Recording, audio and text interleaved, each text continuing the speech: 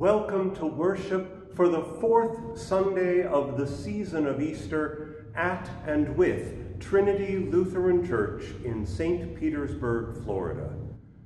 This service was being recorded just before and just after the verdict in the trial of Derek Chauvin was announced. According to this nation's justice system, a jury of his peers has decided that he is guilty of the murder of George Floyd. According to God's justice system, both George Floyd and Derek Chauvin are sinners in need of God's rescue. Jesus Christ was willing to lay down his life for the sake of both men. Both men have been invited to enjoy the abundant life that begins in the here and now and extends for all of eternity.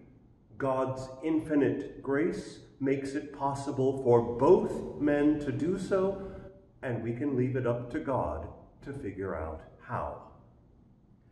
As a reconciling in Christ congregation, Trinity sees all human beings as precious children of God.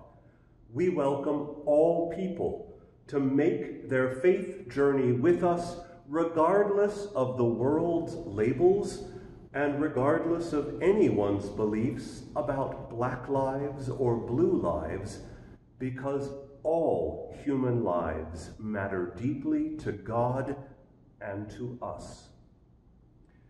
In this worship service, the sacrament of Holy Communion will be offered to all. We invite you to prepare some bread and wine or juice that you can receive as the body and blood of Christ when you see it being shared here in the service. This congregation cannot survive without generous and even sacrificial contributions from its members and friends. Please use the QR code that you'll see on the screen to make a donation. You can also do it from our website by mailing a check to us or by dropping it off in person. The church office can even help you to set up automatic electronic payments, which will save you a lot of trouble. We will begin a Bible study on the first letter of John over Zoom this Thursday. You can participate at either 2 p.m. or at 7 p.m. This week, we wish a happy birthday to Don Dorr, Dee Holloway, Joan Page, and Yvonne Waters. And now we invite you to prepare your heart and your mind for an encounter with our risen Savior.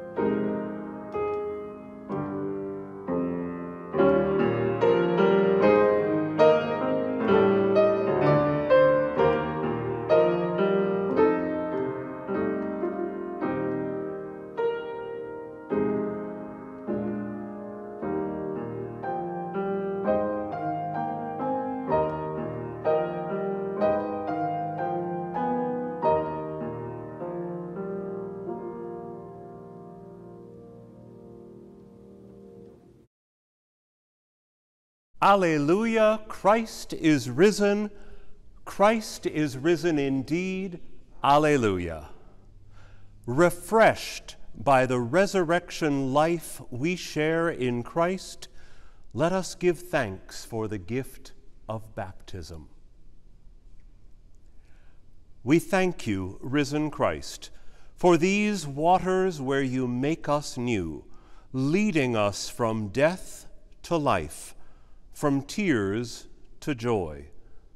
We bless you, risen Christ, that your Spirit comes to us in the grace filled waters of rebirth like rains to our thirsting earth, like streams that revive our souls, like cups of cool water shared with strangers.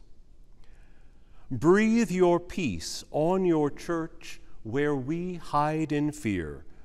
Clothe us with your mercy and forgiveness. Send us companions on our journey as we share your life. Make us one, risen Christ. Cleanse our hearts, shower us with life. To you be given all praise with the Holy Spirit in the glory of God, now and forever. Amen.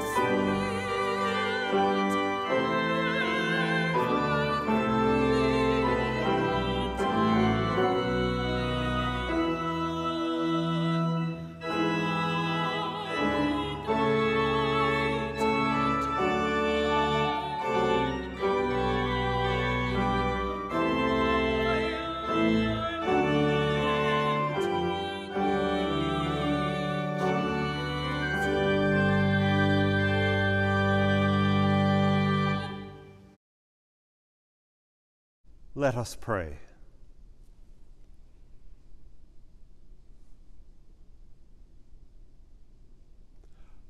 Lord Jesus Christ, Good Shepherd of the sheep, you seek the lost and guide us into your fold. Feed us, and we shall be satisfied. Heal us, and we shall be whole. Make us one with you for you live and reign with the Father and the Holy Spirit, one God, now and forever. Amen. One of the uncomfortable truths about Easter is that it can make people feel threatened and create conflict. In the Gospel of John, Jesus presents what is now the comforting image of the Good Shepherd during a confrontation with some of the religious authorities of his day. Today's reading from Acts describes a similar confrontation between the disciple Peter and a different set of religious authorities. The comforting images of the 23rd Psalm don't shy away from the conflicts and dangers of life lived in the presence of one's enemies and in the valley of the shadow of death.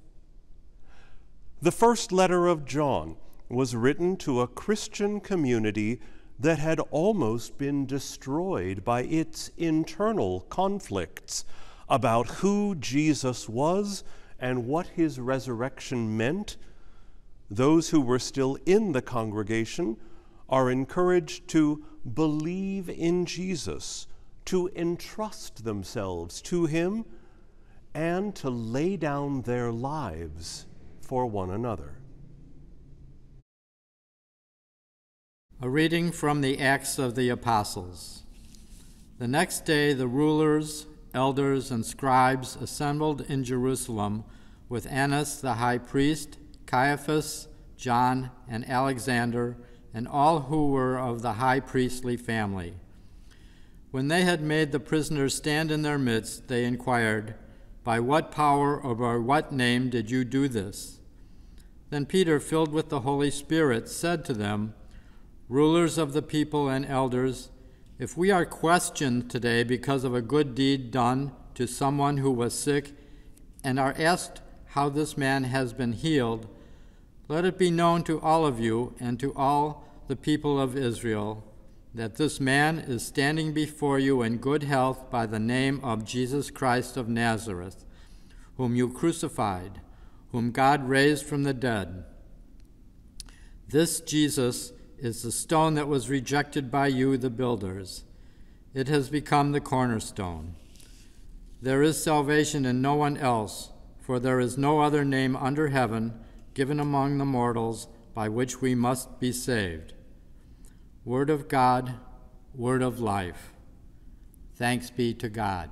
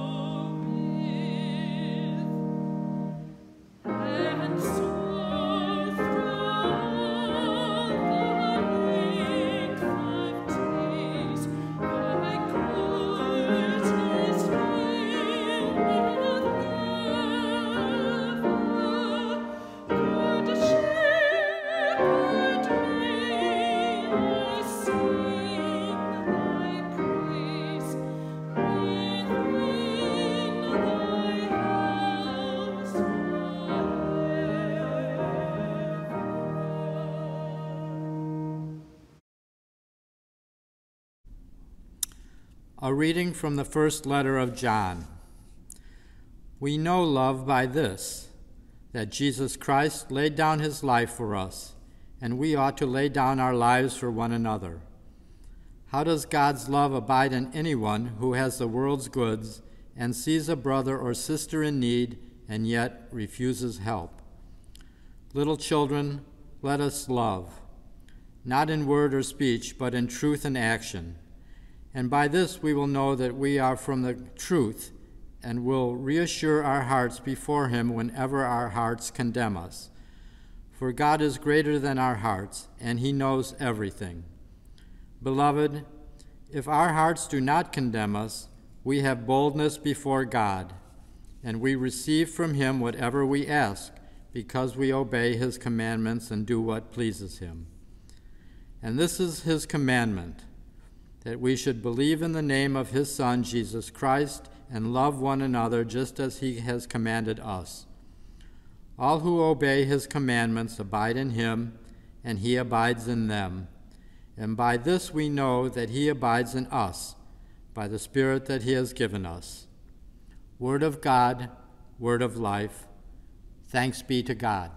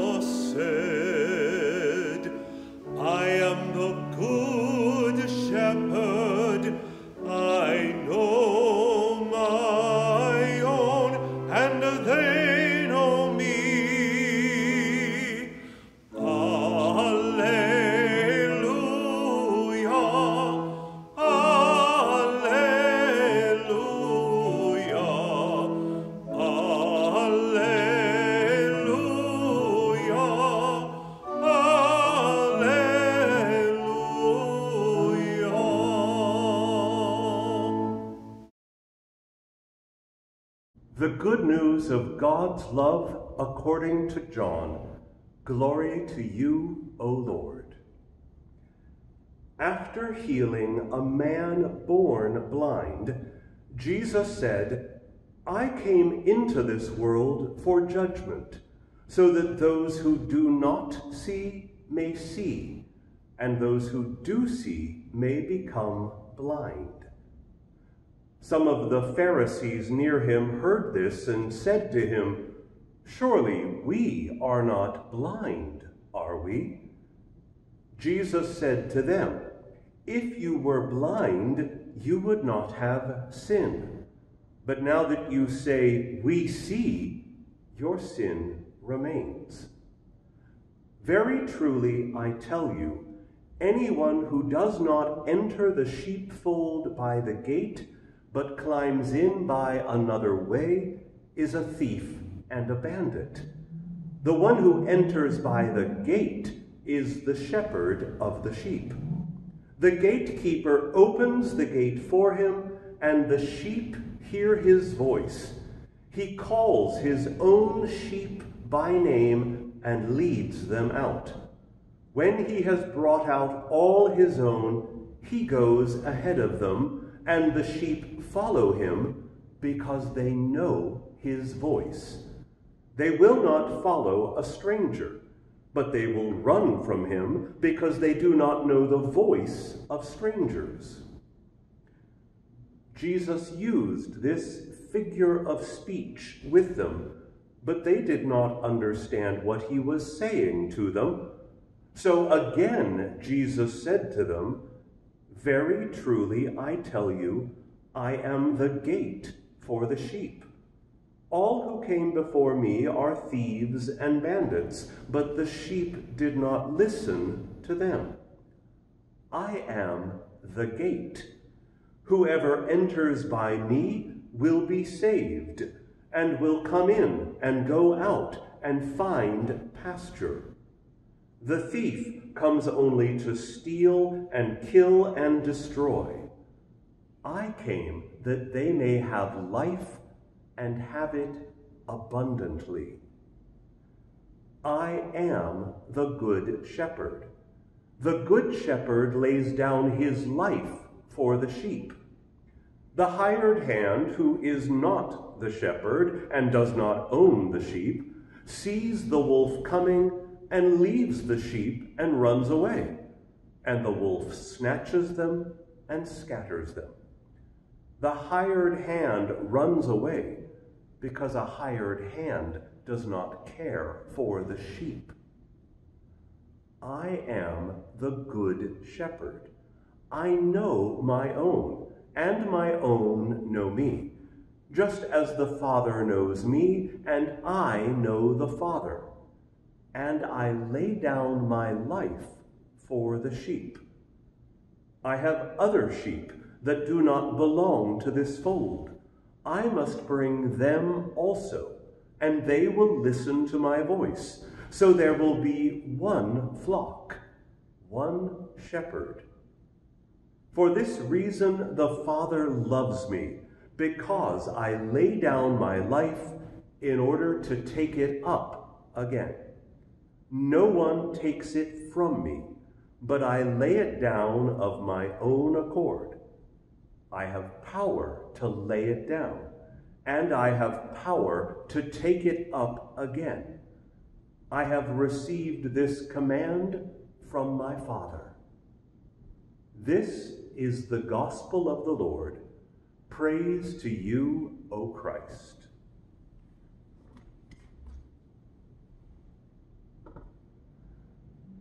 We love pictures of Jesus holding a baby lamb in his arms. We're comforted by the idea of a shepherd who leaves 99 sheep to go in search of us. But when Jesus talks about being the good shepherd, it's more complicated than that. It's tangled up in politics and justice and sacrifice. Back in the time of Jesus, good shepherd was a metaphor for a just and righteous leader. It referred to a king or a priest or a judge who protected and provided for the people they served, following the example of God's protection and provision. The 23rd Psalm is about God but it's also a reminder that kings like David were supposed to act as shepherds, using their power for people rather than exploiting power over people.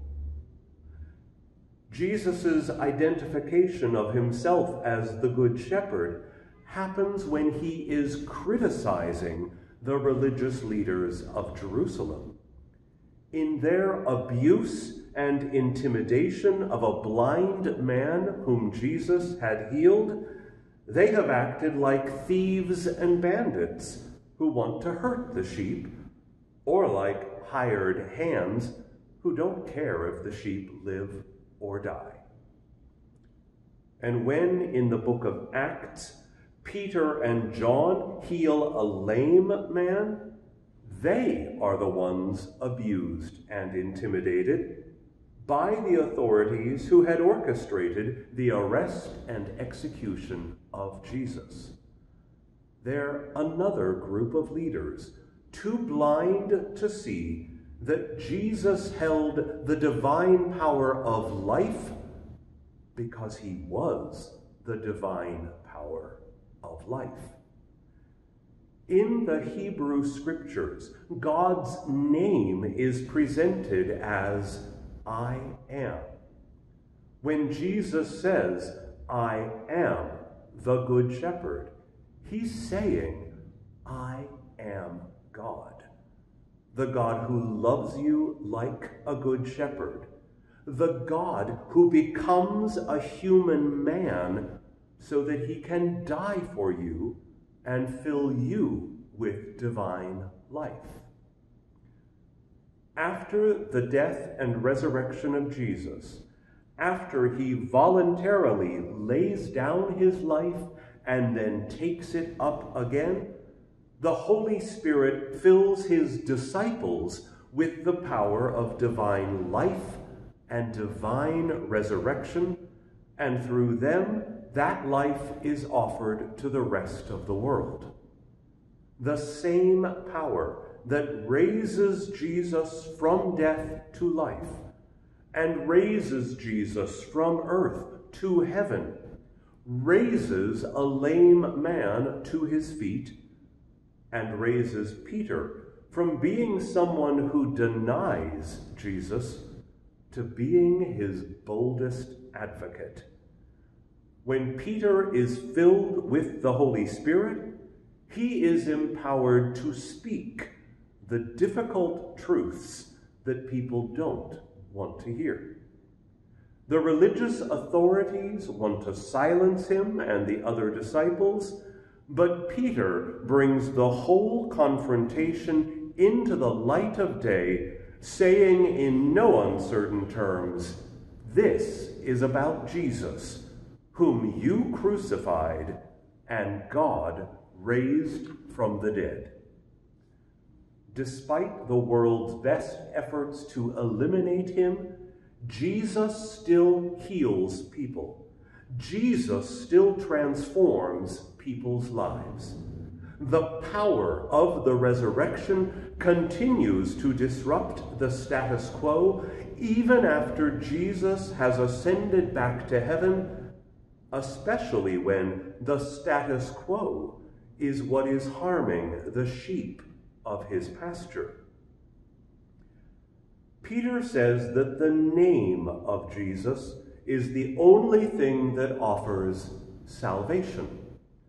The word salvation is about health and wholeness and abundant and meaningful life. When Peter talks of the lame man being healed, he uses the word saved just as he does when talking about the name of Jesus. Health, wholeness, and life are found in no one but Jesus, the crucified and resurrected Son of God. Salvation can't be gotten from wealth or from power, and certainly not from any attempts to silence the truth.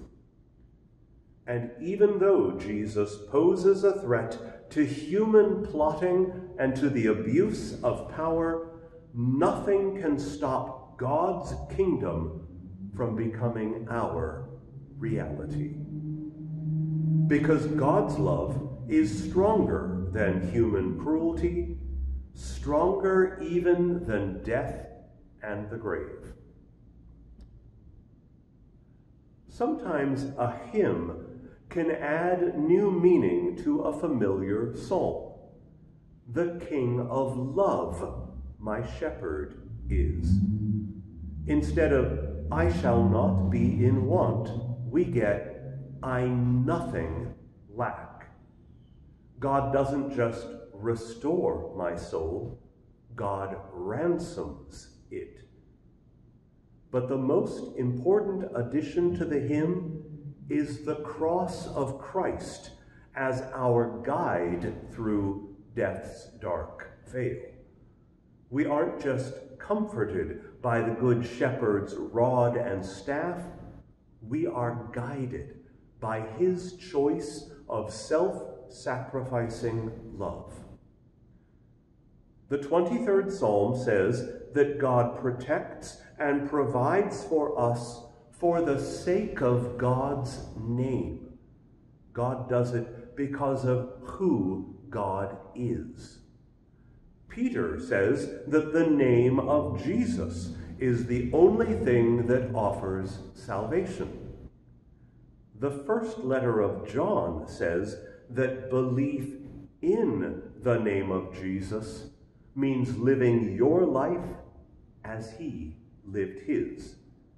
It contrasts Christ laying down his life with Cain taking the life of his brother Abel. The letter claims that most of the world's people are children of the devil like Cain. The children of God, rather than killing their siblings in the human family, are those who would lay down their lives for them. It's like what Martin Luther says when talking about the fifth commandment Thou shalt not kill. What does this mean? We are to fear and love God, so that we neither endanger nor harm the life of our neighbor, but instead help and support them in all of life's needs. If you aren't actively giving people life, you are killing them. Christians are to be sacrificially generous with our lives and with our livelihood. And that means more than just sharing our material wealth. How does God's love abide in anyone who has some of the world's wealth, or some of the world's opportunity, or has access to justice, or has a skin color that protects them from violence? If they see a brother or sister who could benefit from them and yet refuses to help laying down our lives involves sacrificing some of our comfort and privilege and self isolation from harsh truths. Jesus gives us the power to lay these things down and to take them up again. The more we use the power and privilege that we possess to help someone else, the more we can quiet our conscience if it asks, Am I doing enough? Not, Am I doing enough to earn God's love? But, Am I doing enough to make the kingdom of God a reality? The Holy Spirit empowers Peter to speak with boldness and confront the oppression that he sees. The first letter of John says that because we have the Spirit within us, we can speak to God with boldness, demanding that God provide us with everything we need in order to fight injustice and oppression in our world. The Good Shepherd voluntarily lays down his life and then takes it up again so that we can be empowered to live as good shepherds. We experience our abundant and eternal life when we make sacrifices that give life to others. Jesus came that every one of us might have life and have it abundantly. Because we have nothing to fear, we can live our life for others, which is the way we were created to live.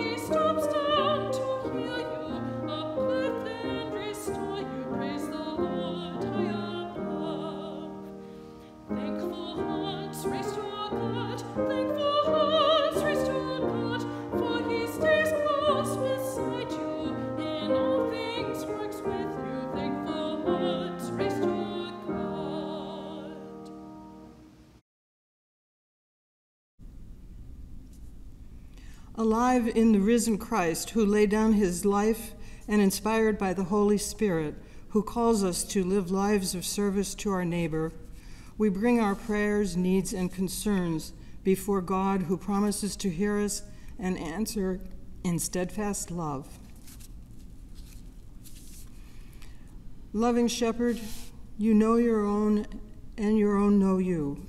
Your voice calls us to your loving embrace.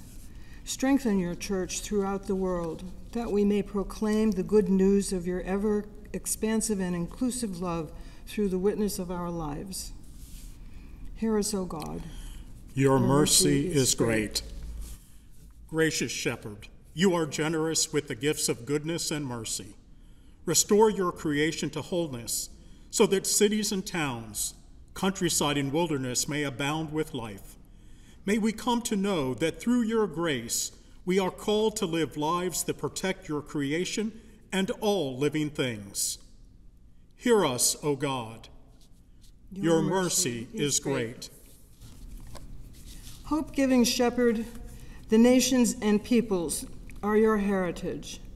Place into the hearts of all leaders and rulers the passion to serve.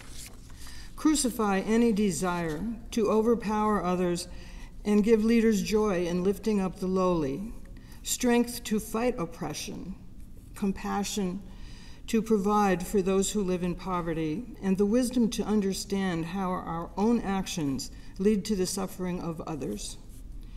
Hear us, O God. Your, Your mercy, mercy is great. Abiding Shepherd, your love flows as we reach out to those around us. Move us with your Spirit so that we may lay down our lives for those who experience oppression, racism, poverty, and all forms of social inequality. Help us to love one another in truth and action. Hear us, O God. Your mercy, mercy is, is great. great. Saving Shepherd, you restore us to wholeness. Help our community in our life together and make us beacons of hope to our community and the world.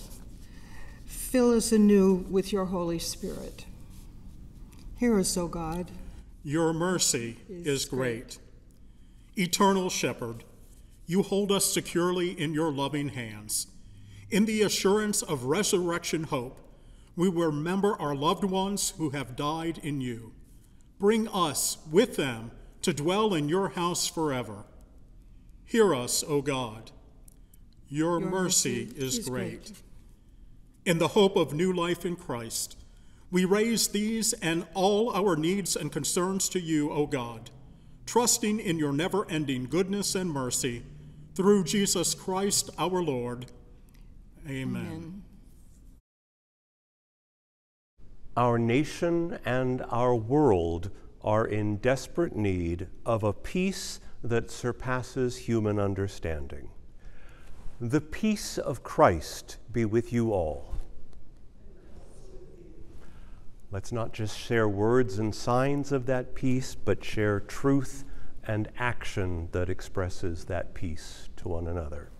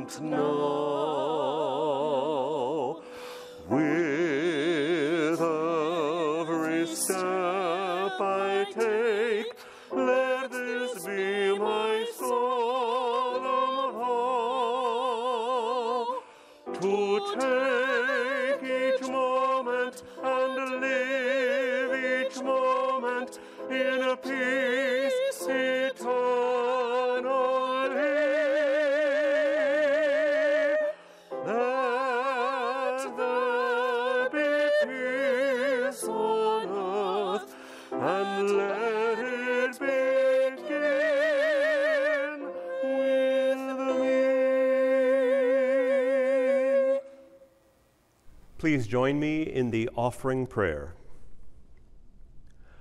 God of love, you call us beloved children and welcome us to your table. Receive our lives and the gifts we offer. Abide with us that we may see and know the presence of the risen Christ in this meal, and so that, fed and nourished, we may be sent in service to a suffering world. Amen. The Lord be with you. Lift up your hearts. Let us give thanks to the Lord our God. It is indeed right, our duty and our joy, that we should at all times and in all places give thanks and praise to you, Almighty and merciful God, for the glorious resurrection of our Savior Jesus Christ, the true paschal Lamb who gave himself to take away our sin, who in dying has destroyed death, and in rising has brought us to eternal life.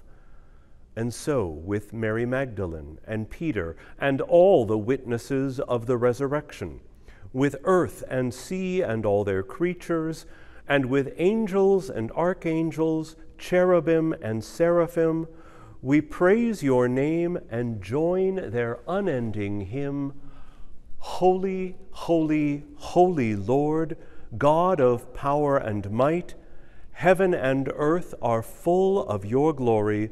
Hosanna in the highest. Blessed is he who comes in the name of the Lord. Hosanna in the highest. Blessed are you, O God of the universe. Your mercy is everlasting, and your faithfulness endures from age to age. Praise to you for creating the heavens and the earth. Praise to you for saving the earth from the waters of the flood. Praise to you for bringing the Israelites safely through the sea. Praise to you for leading your people through the wilderness to the land of milk and honey. Praise to you for the words and deeds of Jesus, your anointed one. Praise to you for the death and resurrection of Christ. Praise to you for your Spirit poured out on all nations. In the night in which he was betrayed, our Lord Jesus took bread and gave thanks, broke it, and gave it to his disciples, saying, Take and eat. This is my body given for you. Do this for the remembrance of me.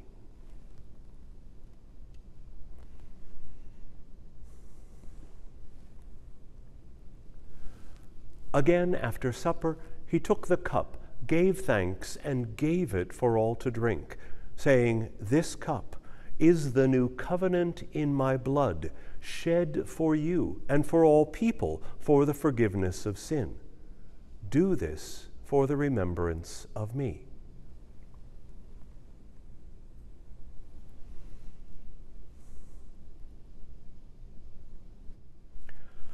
With this bread and cup, we remember our Lord's Passover from death to life as we proclaim the mystery of faith Christ has died, Christ is risen, Christ will come again.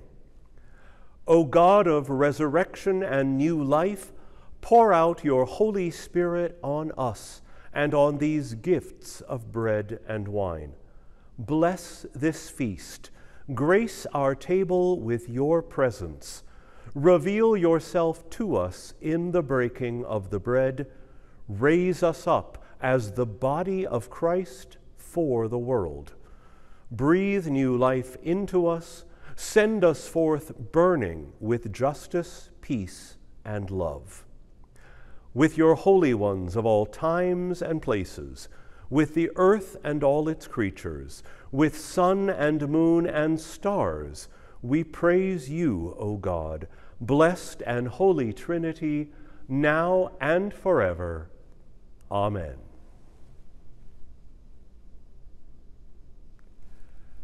Gathered into one body, one human family, by the power of the Holy Spirit, let us pray as Jesus taught us Our Father, who art in heaven, hallowed be thy name. Thy kingdom come, thy will be done on earth as it is in heaven. Give us this day our daily bread, and forgive us our trespasses, as we forgive those who trespass against us. And lead us not into temptation, but deliver us from evil.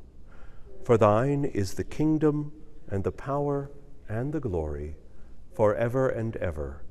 Amen. The risen Christ invites us to this table Come, eat, and be satisfied.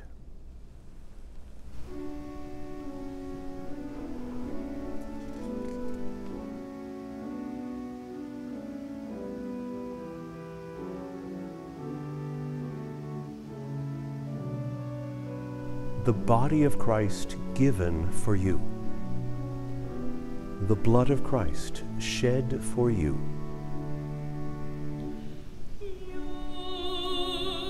the body of Christ given for you, the blood of Christ shed for you. The body of Christ given for you, the blood of Christ shed for you.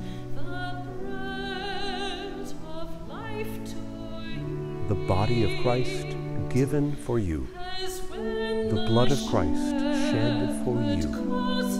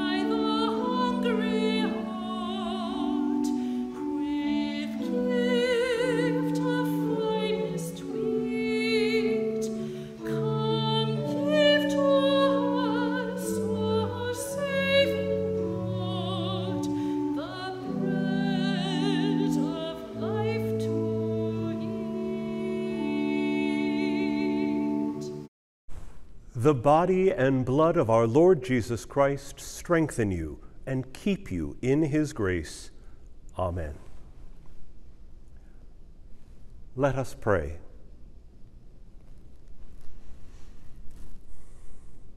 Wellspring of joy, through this meal you have put gladness in our hearts. Satisfy the hunger still around us, and send us as joyful witnesses and servants, that your love may bring peace and joy to the hearts of all people. Through Jesus Christ our Lord. Amen.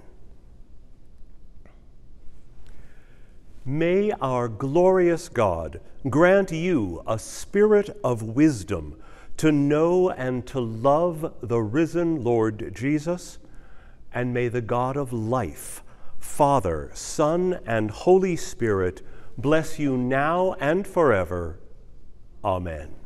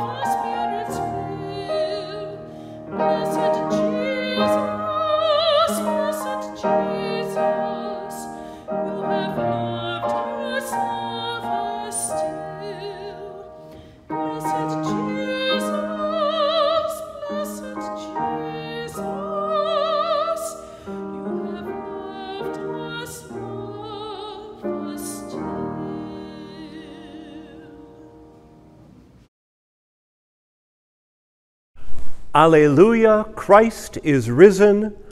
Christ is risen indeed. Alleluia. Go in peace, share the good news. Alleluia. Thanks be to God. Alleluia.